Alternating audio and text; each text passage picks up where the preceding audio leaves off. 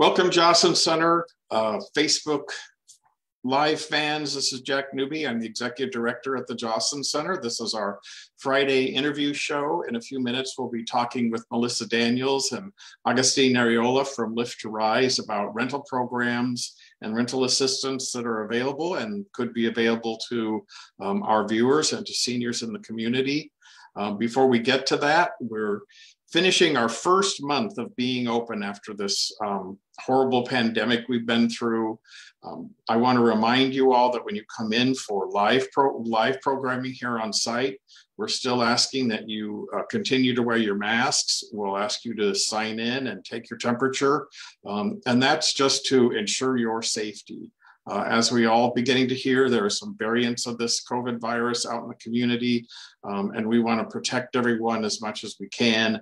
Uh, we'll be continually watching what the uh, medical information is, and hopefully we'll be able to move to uh, full class schedules uh, in the next month or so. So just keep keep updated, but when you do come on site, we ask you to wear your mask and to, while inside, and um, sign in. So uh, for your protection. And as we move forward, we are adding more classes and activities. We have our Go for Life exercise class Monday through Thursday at eight o'clock in the morning.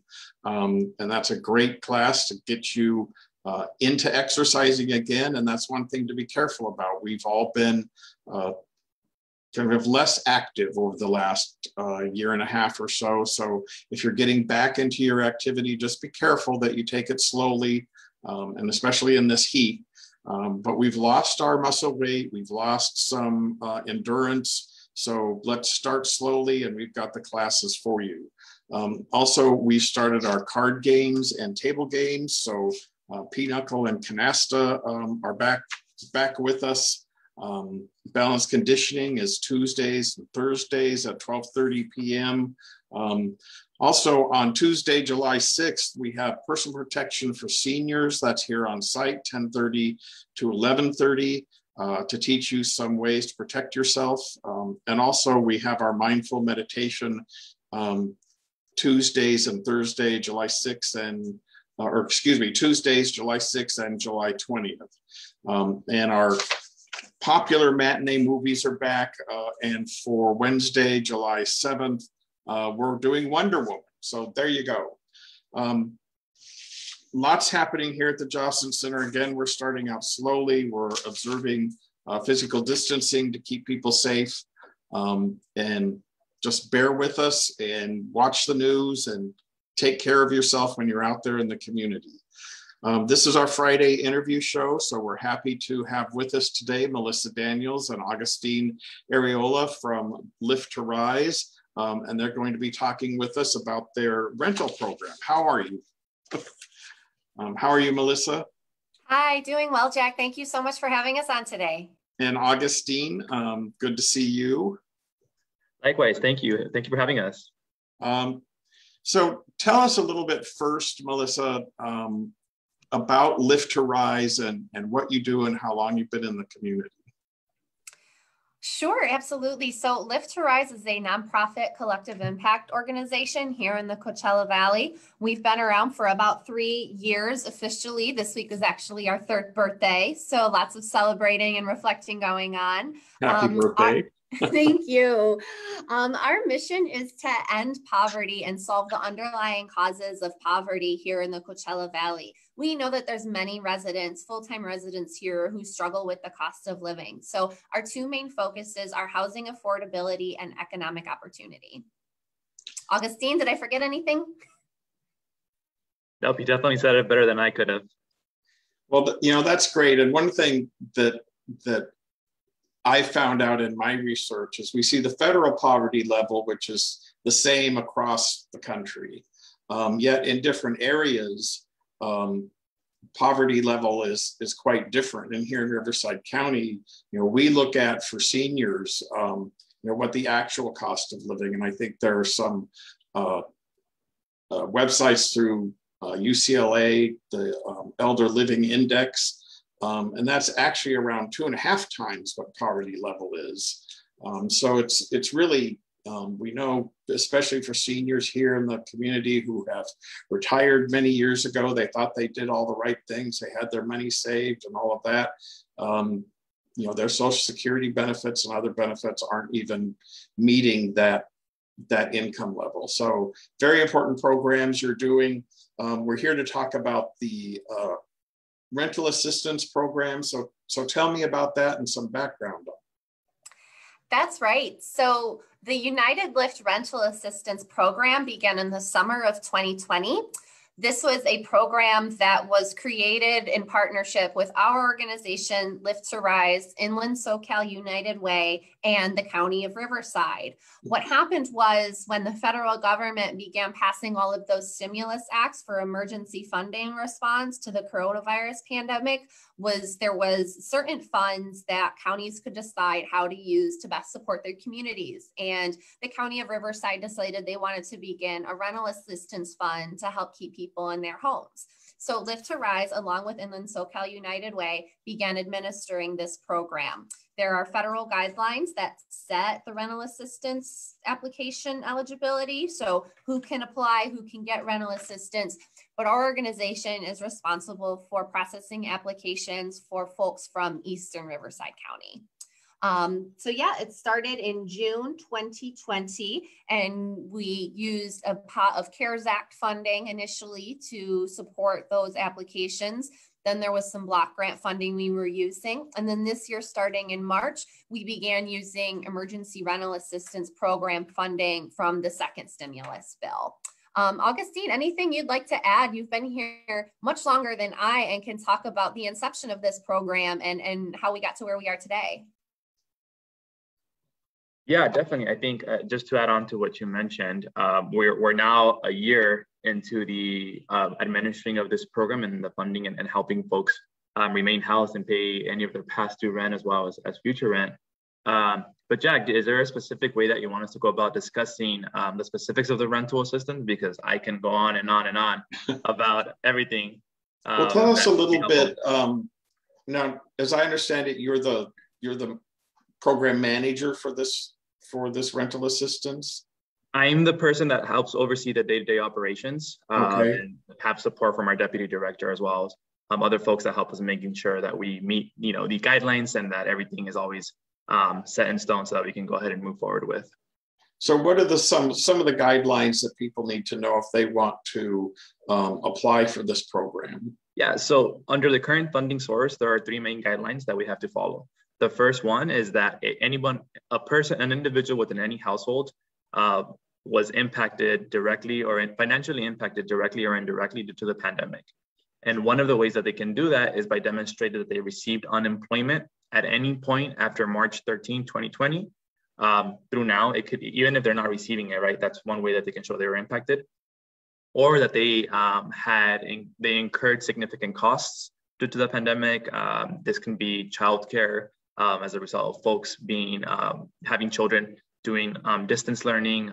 This can be quarantine related costs, self isolation costs. So as long as you can demonstrate that the pandemic financially impacted you in one way or another, uh, we can work and, and help you with assistance. And then the easiest way is demonstrating that you received unemployment. the second component to the guideline is that you have to be income eligible. So um, families must be earning at or below 80% of the area median income. Obviously, those levels are set by, by HUD. Uh, and the third component is that um, we demonstrate that you're at risk of homelessness or experiencing housing instability. And that can be demonstrated um, by a past due notice, um, any proof or evidence, you know, there, um, there's housing instability in your house. Uh, but those are the three main guidelines, right? So it's you've been financially impacted, you're income eligible, and then you can demonstrate um, housing that you're at risk of homelessness or that you're um, in housing instability. And as I understand it, this covers both past due rent and future rental assistance. Yeah, so um, folks are eligible to receive up to 12 months of past due rent plus an additional three months of future rent. Um, so if you apply, let's say you, let's say you were past due since March uh, since March 13, 2020 up until now, um, you would be eligible to receive all, uh, you'd be able to get covered up until now. um, for, for rent. The total length of the assistance cannot exceed 15 months. Uh, but yes, at a core level, it's past due and then future 12 past due and three months of future rent. And how do people find out about this program, uh, find out more about this program to find out if they qualify and uh, get that information? And then how do they apply? I can tell you about the, the qualifications. I think Melissa is a lot more equipped to talk about our outreach efforts and how we uh, make sure that the access to application is equitable. Uh, so I don't know if you want to go ahead and talk about that, Melissa, and then I can go ahead and talk a little bit more about um, the application process. Sure.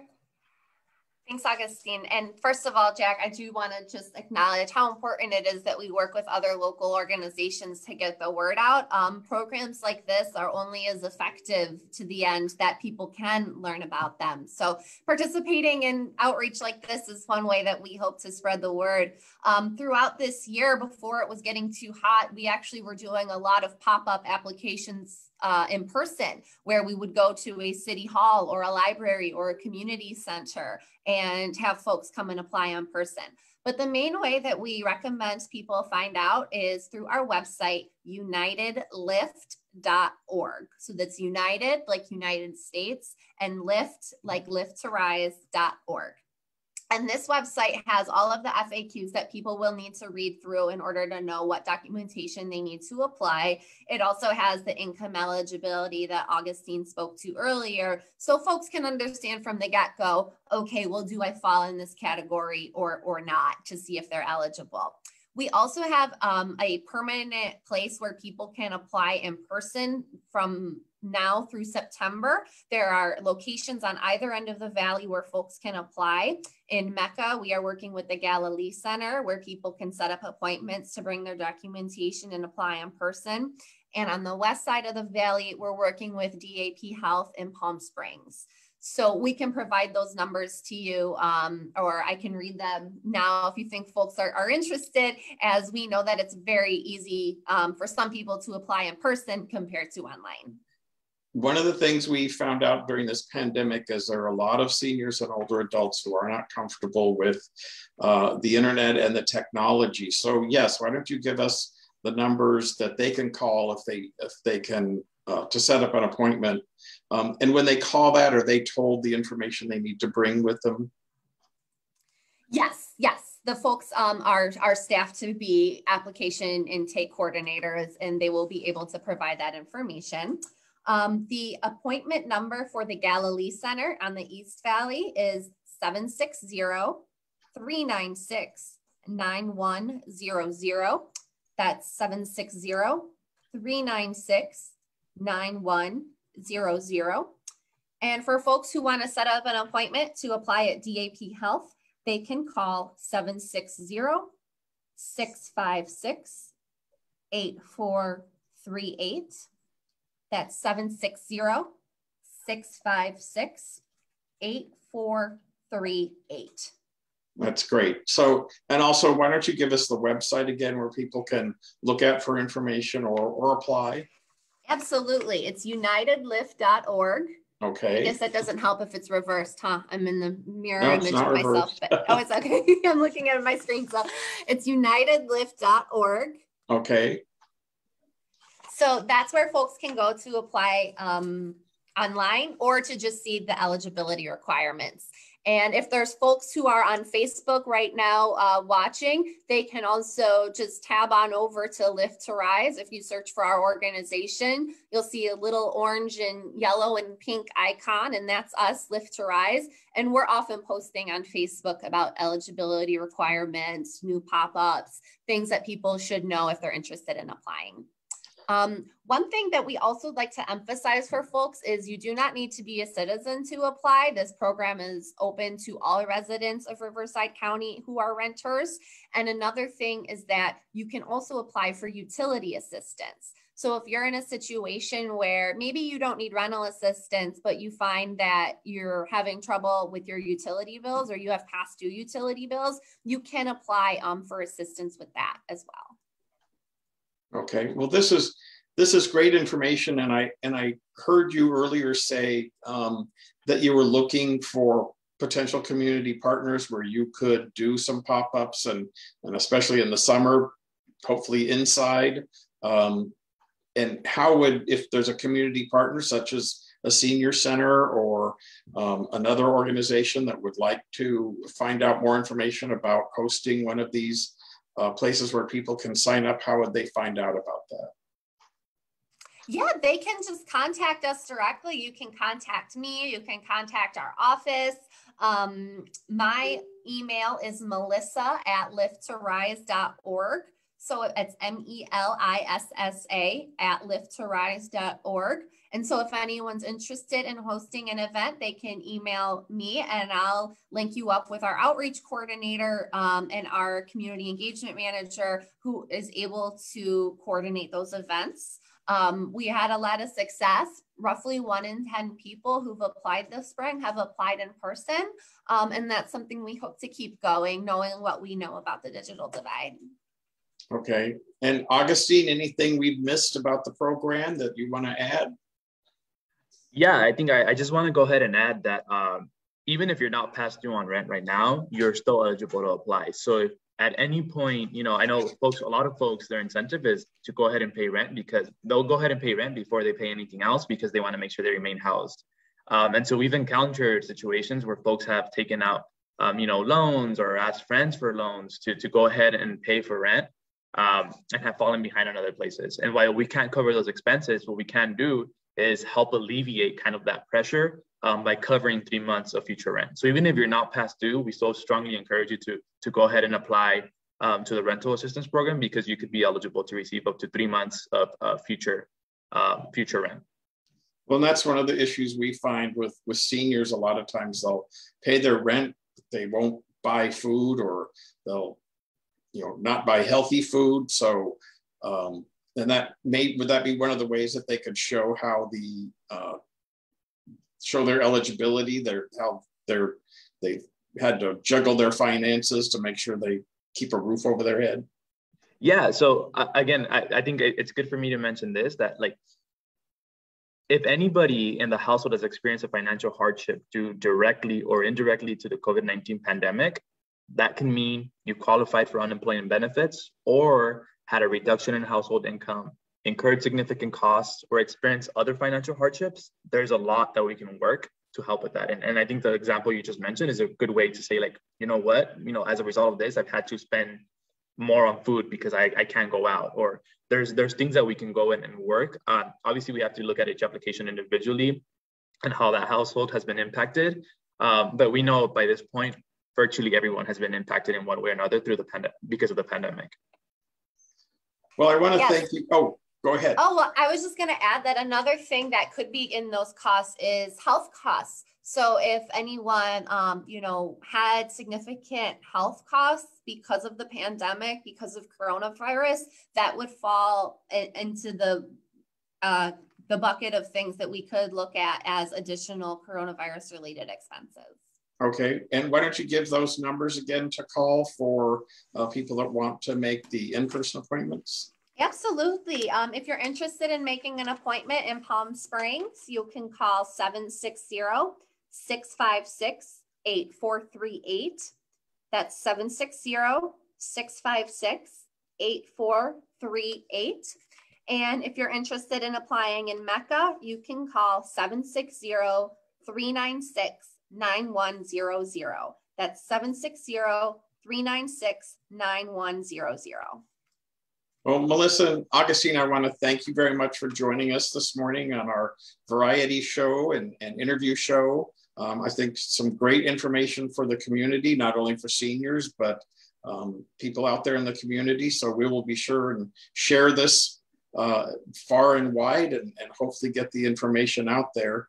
Um, for everyone else, we'll be back here uh, next Friday for the Joslyn Variety Show interview show. Um, just a reminder, we'll be closed on uh, Monday, July 5th for the for the Independence Day holiday and Wish you all a very happy holiday and a safe weekend. And thank you again, uh, Melissa and Augustine. Have a great week. Okay.